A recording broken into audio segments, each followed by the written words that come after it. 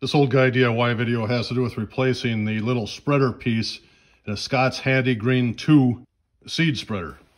So this thing has this little part in the middle that turns when you turn the crank and it's supposed to have a glorified T on it. So when you turn the crank, the seed gets distributed and then it comes out the little slot over here. And you can see that there is no T-piece on there.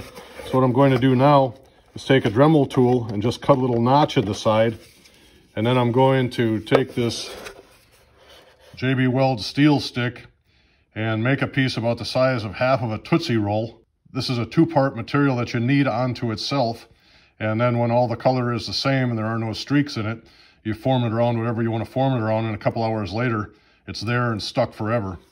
So the reason to come down here and hit it with the Dremel is I want to cut a notch into one side so once that piece of stuff is formed in there, there's no opportunity for it to move up or down. It should stay there for the rest of this little tool's life. So I'll make it happen and show you what it looks like.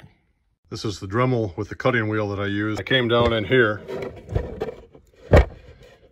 and I just cut two grooves, one on each side, into that little sub shaft. When you take the little cap off the steel stick, it looks like a round fig Newton. So I just cut a little chunk of material off with a knife. Now I'm going to knead this together until it's all the same color. And I'll come in here and just pack it around this thing so it looks like a little lima bean sitting on there. Let it dry for 24 hours and this thing will be good to go for the next 30 years. Now the little nugget is one consistent color.